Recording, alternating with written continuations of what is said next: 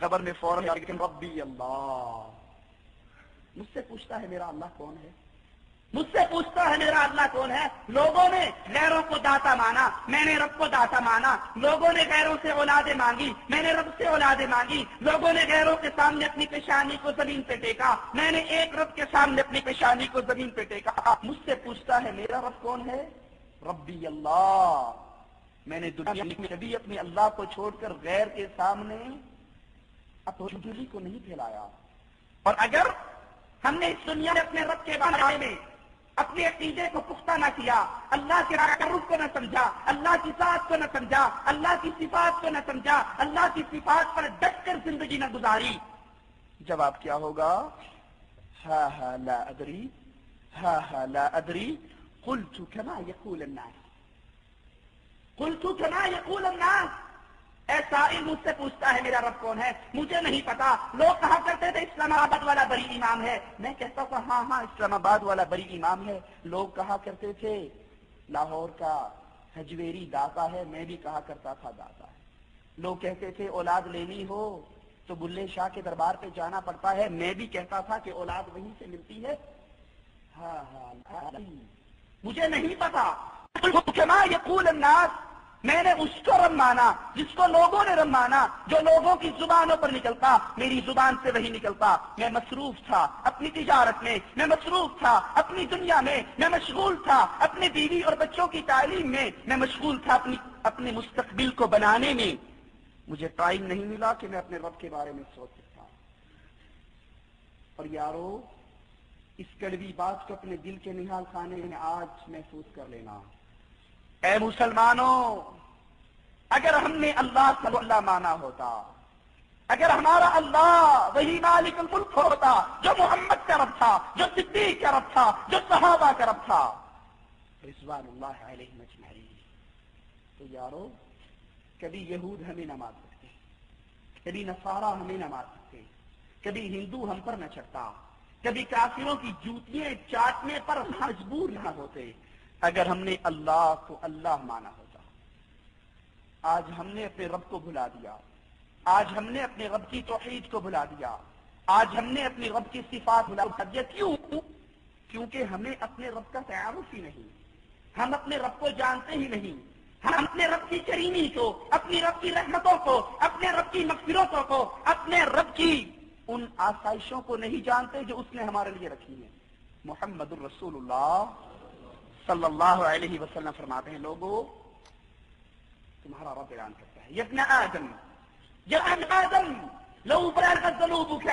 समा आदम के बेटे, तेरे गुना इतने हो जाएँ, अगर तू ज़मीन पे रखे, आसमान पर जाए। तुम लकी लकी चनी आदम के बेटे जमीनों को आसमानों को अपने गुनाहों से भर के मेरे पास आ। शर्त एक है, उस शर्त को न तोड़ना। तुम लकी चली ला तुश्रिक बिल्ला तेरे नामा अमाल में जीना है। चोरी है, डाका है, बदमाशी है, गुनाह है, झूठ है, जीबत है। दुनिया का हर गुनाह है। एक गुनाह तेरे दामन में नहीं कि तूने मेरे साथ शिरक नहीं किया। आदम के बेटे, जितने तू गुनाह लाएगा, मैं इतनी रहमतों की ज़मीन भर के लाऊँगा। तेरे गुनाहों को माफ़ करके, अपनी रहमतों से, तेरे हिस्से और दामन को भर के तुझे अपनी जन्नतों का मालिक बना दूँगा। हमारा रब कौन है यारो? मूसा सलाम बनी इसराइल को लेकर चले। एकाश हमने अपनी रब की रहमतों को सुना और समझा तो होता। अपने रब के दामन को छोड़कर, अपने रब के दरबार को छोड़कर, अपने रब की, अपने रब की दहलीज को छोड़कर, गैरों की दहलीज पे छुपने वालों, कभी मेरे रब की रहमतों का अंदाज़ा लगाया तो होता। मूसा सलाम बनी इसराइल को लेकर चले। नमाज़ इस्ता पढ़ने के लिए, पानी की फसियात करने के लिए। उसकी मकाम पर पहुँच लड़ा कैसे दुआ की। अल्लाह अज्जल ने जवाब दिया, मूसा, तेरे लश्कर में एक आदमी ऐसा है जो सत्तर साल से मुसलसल मेरी बगावत कर रहा है। मुझे नाराज़ कर रहा है। मेरे दीन के खिलाफ चल रहा है। मूसा, जब तक ये तेरे लश्कर में बाकी रहेगा, तुम्हारी दुआएँ कबूल ना होगी। अल्लाह क्या करूँ? कहा, इसको लश्कर से निकाल दे। अल्लाह इतना बड़ा लश्कर बनी इसराइल का, मैं उस एक फर्द को कहा ढूंढू? कहा, मूसा, तू आवाज़ लगा। अल्लाह तादाद बहुत अच्छी है। कहा, तेरा काम आवाज़ लगाना है, मेरा काम पहुँचा देना है।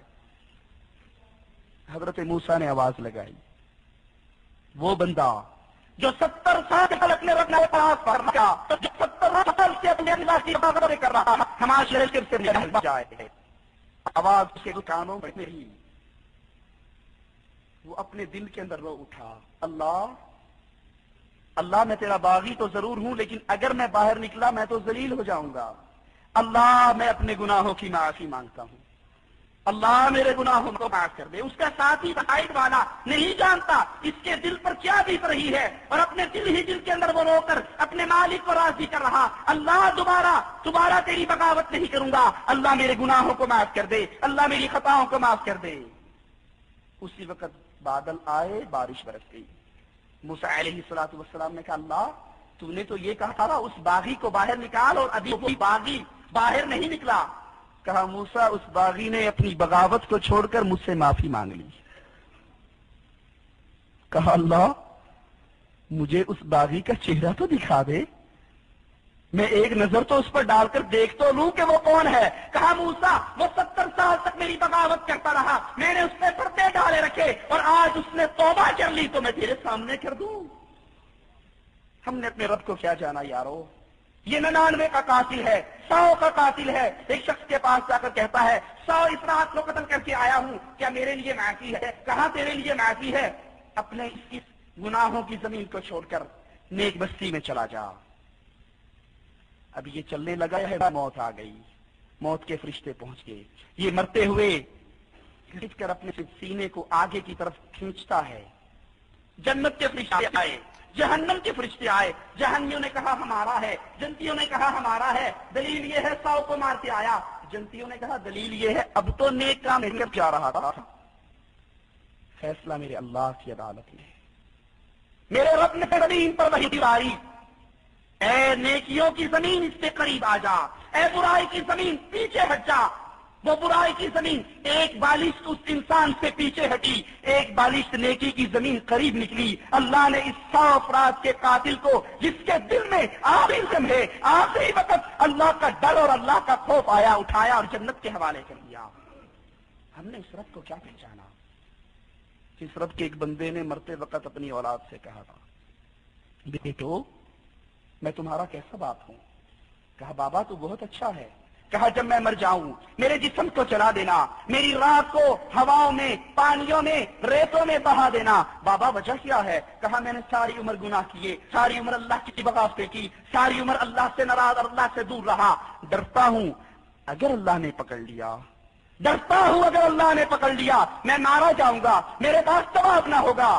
ये बाप मर गया, इसको जला दिया गया, इसकी राह को उड़ा दिया गया, बहा दिया गया। लेकिन वो मालिक मुल्क जो हर चीज़ पे काबिल है, उसने अपने बंदे को उठाया। इसको दोबारा इसके वजह क्यों उठाला। कहा, बंदे, तूने अपने साथ ये मामला क्यों किया? कहा, अल्लाह सिर्फ़ तेरे आज़ाद के डर से। अल्लाह में बागी था। अल्लाह में बागी था। मैं गुनागार था। मैं तेरी बगावत करता था। मैं डर गया अगर अल्लाह ने मुझे पकड़ लिया। अल्लाह मेरे दिल में आखिरी लम्हे, तेरा खौफ आया। इसलिए मैंने ये अमल किया। अल्लाह ने कहा है बंदे, तूने ये अमल मेरे डर से किया। जा मेरी जन्नत का वारिस बन जा। कौन अल्लाह यारो? कौन अल्लाह जिसने पानी के गंदे कतरे से आपको और मुझे माँ के पेट में पहुँचाया? फिर नौ महीने अल्लाह ने तरबियत की, अल्लाह ने परवरिश की, अल्लाह ने रिजक पहुँचाया। फिर इस दुनिया से बाहर निकाला। जब बाहर निकले, खाने के काबिल न थे, पीने के काबिल न थे मांगने के काबिल न थे। दूध की नहरों का इंतज़ाम मेरे अल्लाह ने किया। अब ये अल्लाह मेरी परवरिश कर रहा है। ये रब है यारो, जो पिलाता और खिलाता आ रहा है। और जब हम इस काबिल हो गए जब हम इस काबिल हो गए अपनी पेशानी को ज़मीन पर रखे, अपने अल्लाह का शुक्रिया अदा करें, और आज कहते हैं, साड़ियाँ सुनता नहीं थे भी मोड़दा नहीं। या अयुहल इंसान करीम, अपने रब के दरवाजे को छोड़कर जाने वाले, अपने अल्लाह को भुला देने वाले, अल्लाह को छोड़कर अगियार से दोस्ती करने वाले। एक लम्हे के लिए सोचा तो होता, एक लम्हे के लिए तस्वर किया तो होता वो अल्लाह वो अल्लाह कितनी रहमतों वाला